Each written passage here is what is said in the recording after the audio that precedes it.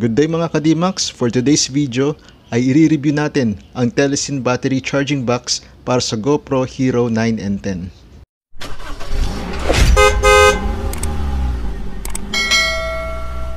Ang ating Telesin battery charging box, model GP BCG-901 ay may input na 5 volts and 24 amperes at ang output naman nito ay 4.4 volts 800 milliamperes.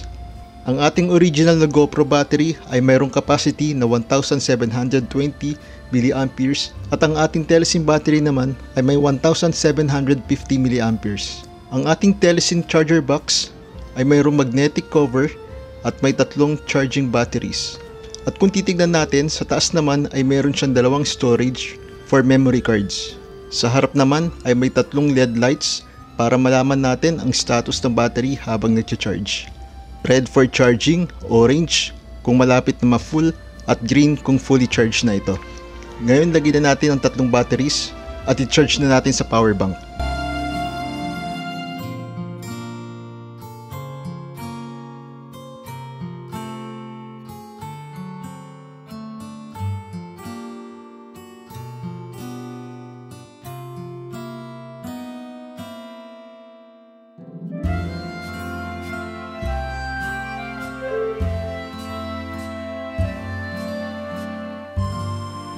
Pwede rin gamitin ang adapter ng cellphone dito na may output na 5 volts and 2 amperes at mapupuno ito ng 1 hour and 30 minutes.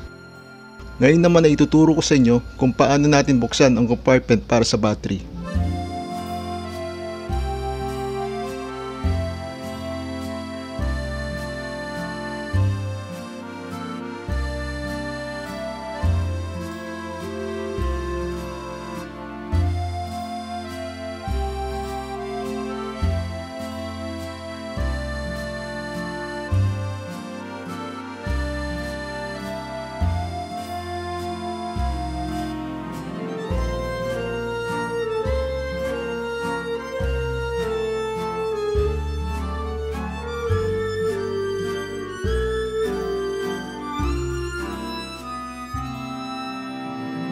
At dito na po nagtatapos ang ating short review sa ating Telesin charger and batteries.